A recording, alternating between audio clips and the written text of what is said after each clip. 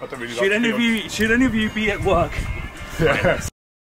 Sometimes Steve Austin pours beer on himself and like, Yeah. yeah, and then it's like, you know, So I feel like the right foot worked. because it helps you stay tight. yeah. You should do that at the end of your shirt, really, so you're not covered in beer. Jane Austen. I like that, that's funny. It's good. I think that's hilarious. Come on, get Come it. on.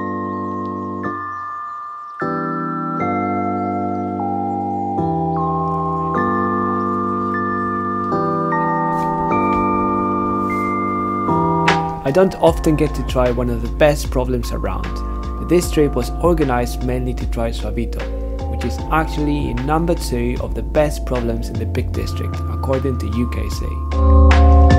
I would say what makes this problem good is a mixture of location, aesthetics of the boulder, the quality of the rock, and the quality of the moves, as they get better and better the higher you go. I kept telling myself that all the moves were going to be doable, so it was going to be a case of having a well padded floor and a bold head to be able to climb it. Despite this, I felt quite intimidated when standing at the base of it, as none of the pictures or videos I had seen of it really do it justice. I guess because of this, I didn't get too far on my flash attempt.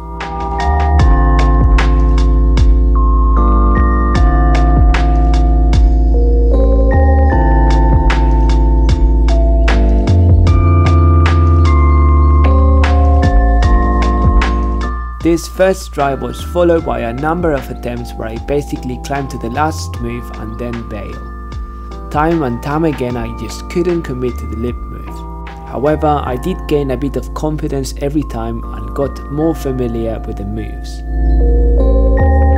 It took me 8 tries in the end to be able to commit to the last move and top out this block.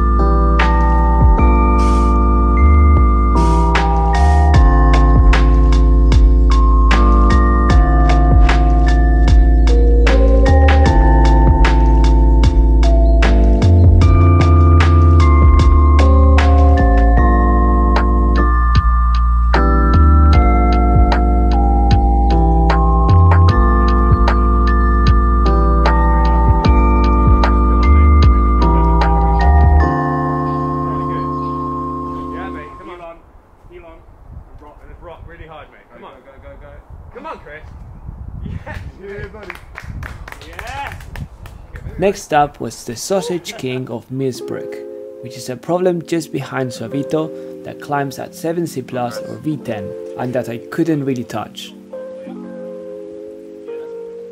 I pulled on a few times but I couldn't see myself climbing it, so I decided to step back and watch instead.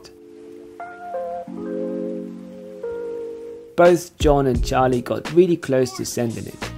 I'm sure it will probably go for them next time they try it.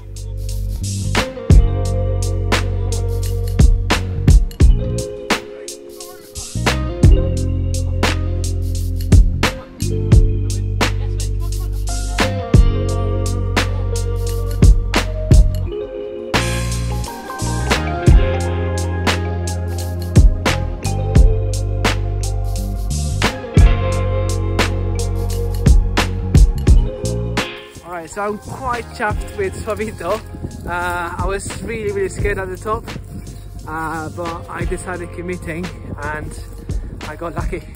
But it really, really felt like I could like land badly, although I had plenty of spotters and a sea of pads.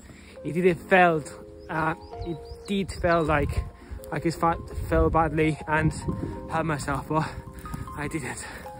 Now we are in the hunt for Bin Laden's cave which is this block that uh, apparently is really hard to find, hence the name.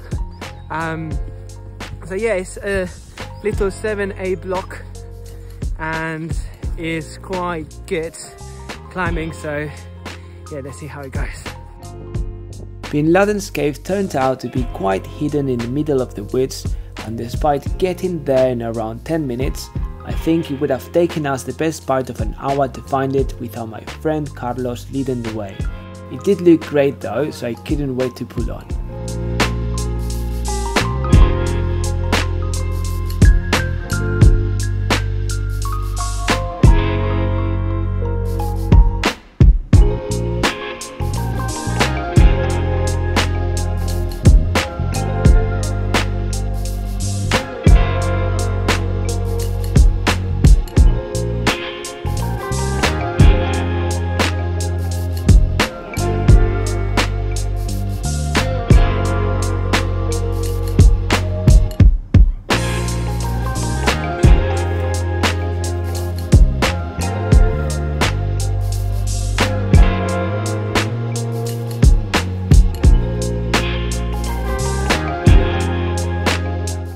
Luckily got the flash, which meant that I would still have some time to try the left hand side version called Bin Lillermule that climbs at 7A plus or V7.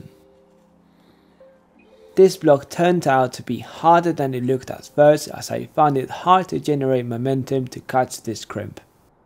I managed to send the problem when I figured out how to jump and catch the hold. I don't know how to jump. Maybe get a jam between the rock and the tree. Yep.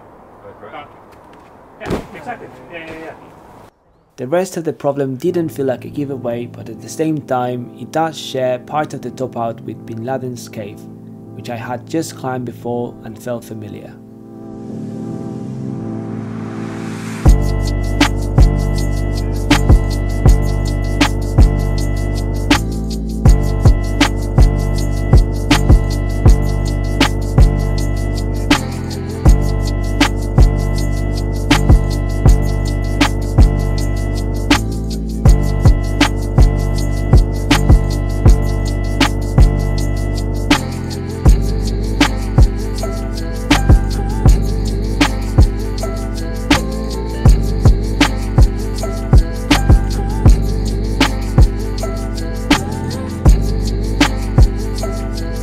Was so happy for having climbed these blocks to be honest, especially Suavito, as it took much more commitment than I had anticipated. And then you start to everyone and then you jump on top.